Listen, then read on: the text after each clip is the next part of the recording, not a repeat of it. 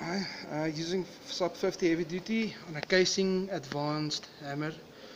Uh, we're going to do the demo here. We're going to spray a little bit, well not a little bit, but we will spray just to see how it how it will loosen up the the hammer, the drill.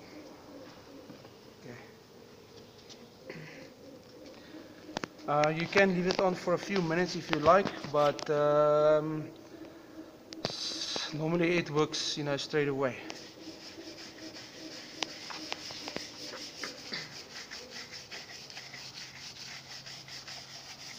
Look at it.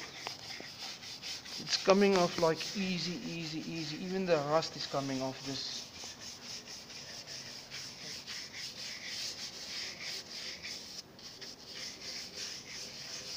And it's just, and it's not a lot of um, elbow grease.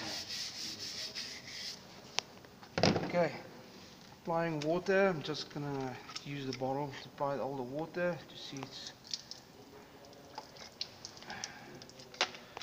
Look at the how it work, works. Alright, it's just this bottle is not nice anymore. I Don't know what's happening.